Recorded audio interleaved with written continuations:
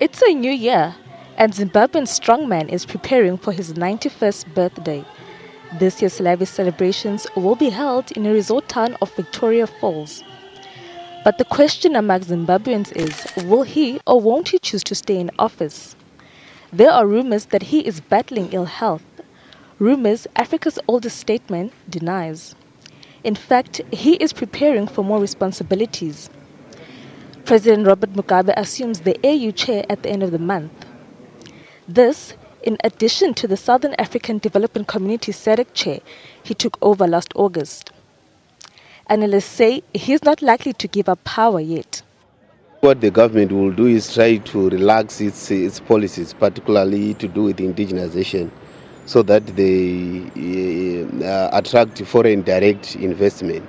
We are likely going to see government softening up trying to uh, woo business into the country, but also, whereas we are not expecting President Robert Mugabe to, to hand over power, I think we are likely going to see him uh, delegating more power to his vice president, particularly to Mnangagwa.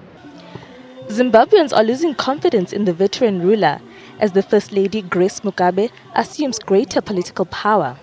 Um, he's old, he's tired, and his wife is in control. The country's economy also begins at an uncertain note. In the last 10 days, two banks have lost their licenses. There's not much of a difference compared to last year because the government is still the same. And you can't expect investors to come and put any infrastructure in Zimbabwe because they don't have investor confidence. Government has rubbished the claims of an imminent retirement or succession plan.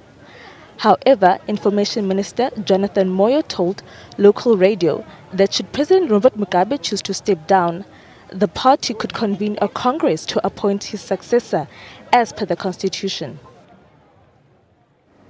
Health